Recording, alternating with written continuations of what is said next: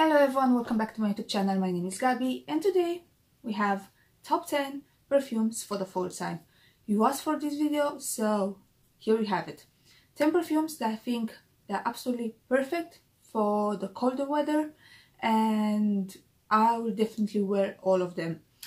Um, we have some new perfumes as well that I didn't haul yet, so stay tuned for the hauls because more are coming. More are coming, yeah. I know, I know I had already three holes I'm gonna have two more and if from those two holes I have two perfumes that I think they're just absolutely perfect for the fall time. So before we start, if you like this video, please give it a big thumbs up and subscribe to my channel. Okay, first perfume.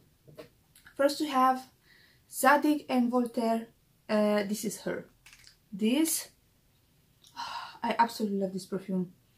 This one, it's creamy, it's milky, it has whipped cream and it has chestnut. It's very nutty, um, has a lot of sandalwood in it and it's very, very, very creamy.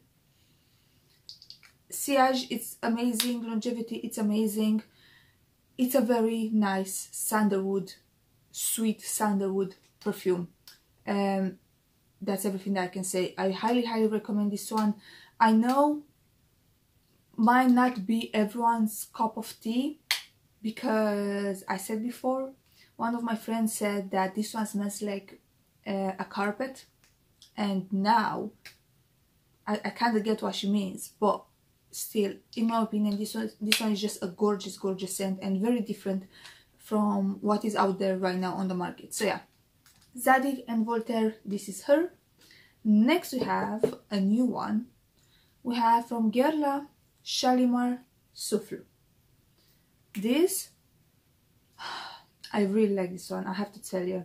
This one is not the intense version, it's just the regular uh, souffle. And this one is a spicy oriental lemon, I would say. It has some vanilla, yes but i don't think the vanilla is the star in this perfume it's more the lemon but don't think it's a, a fresh lemon no no no it's a woody spicy lemon. Again very different from what i have in my collection. I'm not gonna do a full review right now so stay tuned for for the haul. But i would say people are saying that this one smells like a lemon pie. I can see that i can see that because the lemon is not as citrusy as in other perfumes but it's not that creamy and it's not that sweet to say that this one it's a lemon pie in my opinion but the scent is absolutely gorgeous. I think it's gonna shine in the fall time so yeah. Uh, Shalimar Souffle by Guerlain really really like this one. Next we have Serge Lutens Bois Vanille this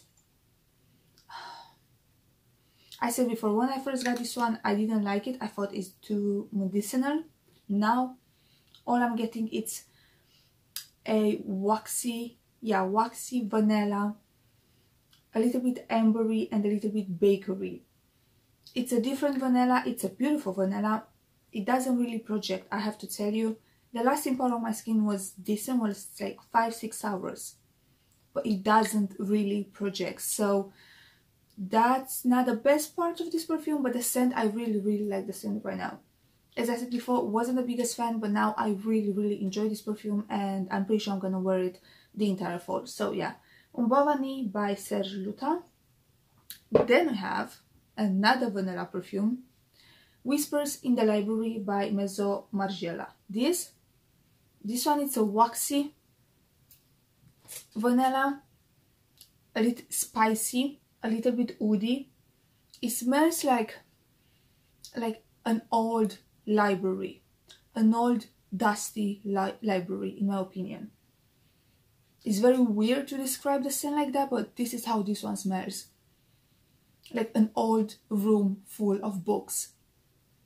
Really like the vanilla. I think the dry down is the best part of this perfume. The, the opening gets a little bit too spicy for me but still it's a beautiful beautiful beautiful perfume different from other mainstream perfumes and yeah. Again same problem as Serge Lutens this one doesn't really project and also doesn't really last on my skin. Comparing to by the fireplace that one it's a beast mode this one not really. Not really but the scent the scent is absolutely stunning. So yeah that's why this one is in this top 10 so whispers in the library by Maison Margiela. Next we have Yves Saint Laurent Libre Intense I said a billion times I'm not the biggest fan of the original it's just not sweet enough for me I think it's a nice scent but it's just not for me this this on the other hand this one it's lavender and vanilla. Okay, these are the two main notes. It's still pretty unisex in my opinion. The vanilla is not too sweet. I, I don't find this a sweet vanilla, but definitely it's sweeter than the original one. It's rich, it's, it smells expensive. It smells very expensive and elegant. I really, really like this one. The sillage and the longevity were very, very good. At least for my skin. I know that people were complaining were complaining about the original i don't own the original i know but with this one i got good six seven hours the sillage was there so yeah i really really really like this one Yves Saint Laurent Libre Intense next we have for gourmand lovers Lolita Lempicka Lolita Land this smells like peach and apricot jam. I said billion times, imagine you take, you have an apricot jam and you put sugar on top. It's extremely, extremely sweet. It's very sticky, it's very sweet. It's a mode. The sillage, the longevity, they're absolutely amazing. It's very inexpensive. Um, on some people, people on Fragrantica were saying that they either love this one or they hate this one. So for me it's a total love i know that uh, so many of you bought this one because of me and i'm so happy that you like it because you told me in the comments that you absolutely love this perfume so i highly highly recommend again i don't know if it's gonna work for everyone's skin chemistry but with, for me this one is just perfect perfect perfect. It's apricot jam with sugar on top. So yeah lolita land by lolita lempicka next we have one perfume that is actually discontinued but you can still find it online. And I'm talking about Mugler Alien Essence Absolute. This this one it's alien DNA and then with this thick syrupy caramel I don't think it has caramel in it I have to be I don't think it has caramel on it but for me this one smells like uh, the syrup the caramel syrup that they use in, at Starbucks. So imagine you have alien and then you just put the Starbucks syrup on top.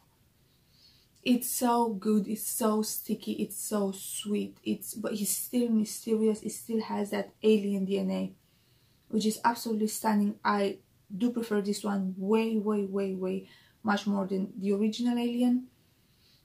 It's just, it's so good. I know you cannot try this one in store, but if you like Alien, you'll probably like this one. If you're not the biggest fan of Alien, but you like sweet perfumes, probably you're also gonna like this one. But if you don't like Alien, just don't like Alien, so don't buy this one. But this, it's...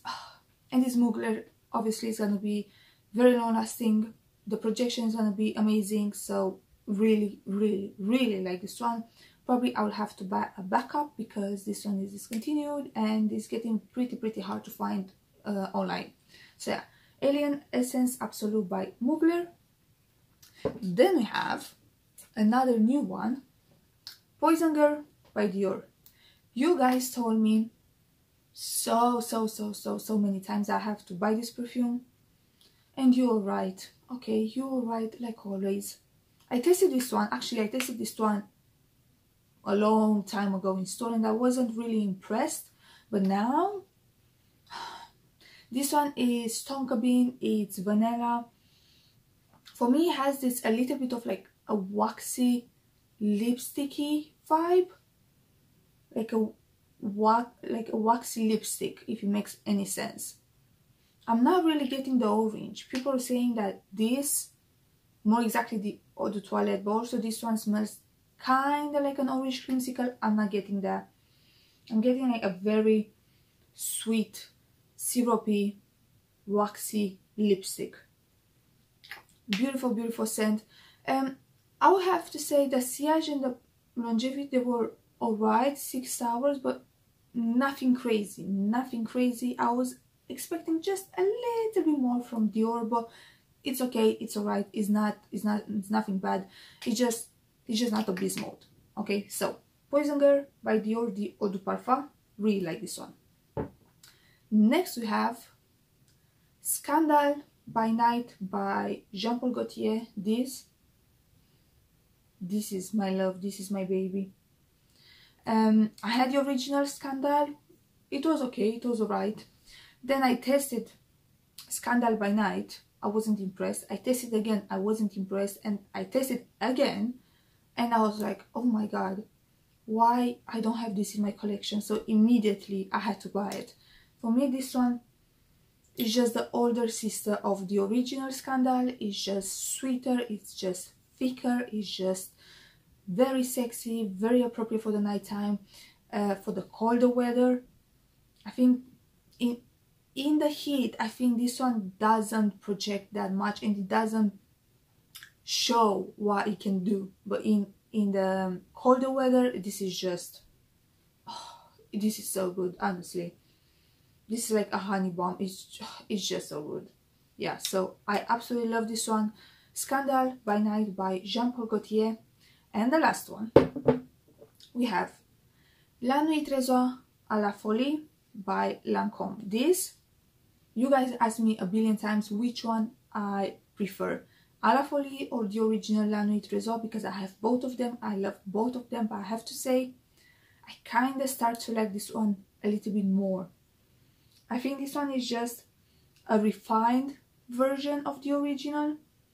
The original is like this smoky vanilla rose perfume with some pear in it. This one is just more creamy. It's the vanilla, it's more intense in this one. I think this one's more like a vanilla perfume. I absolutely love this one. Same with the same thing as with the Scandal. I think this one it's amazing for the nighttime, amazing for the cold weather.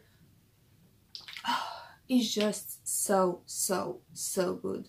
If you never tried this one, definitely go and check this one out. I think it's just amazing. I think it's one of the best cold weather sweet sexy perfumes. So yeah, La Nuit à la Folie by Lancome and that was my top 10 for the fall time guys. Um, please let me know what perfumes you like, what perfumes you are gonna wear this fall and if you agree with my list, I wanna know. Do you think these are appropriate for the fall time or maybe I should wait and wear them in the winter time or just don't wear them at all or. So yeah, that was it for today guys. Thank you so much for watching. If you like this video, please give it a big thumbs up, subscribe to my channel and like always, I'm gonna see you in my next one. Bye bye.